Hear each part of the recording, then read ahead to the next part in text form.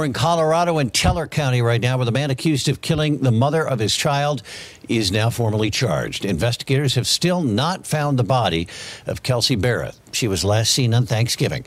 Our Matt Kroschel's in Cripple Creek, where Patrick Frazee was in court this morning. Matt.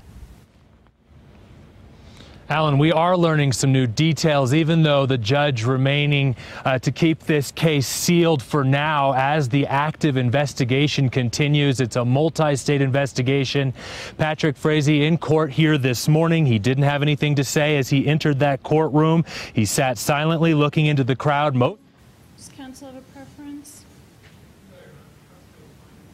team asking the judge for some more time to review a motion that was granted until this Friday. They'll be back in court before the judge on Friday.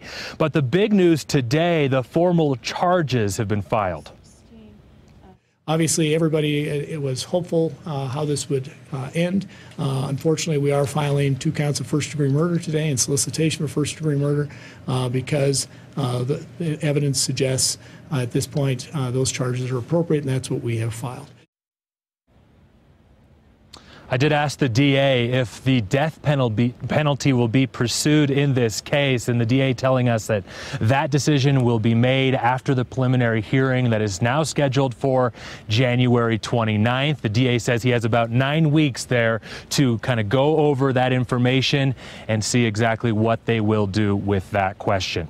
We are live tonight in Cripple Creek. Matt Kroschel covering Colorado First.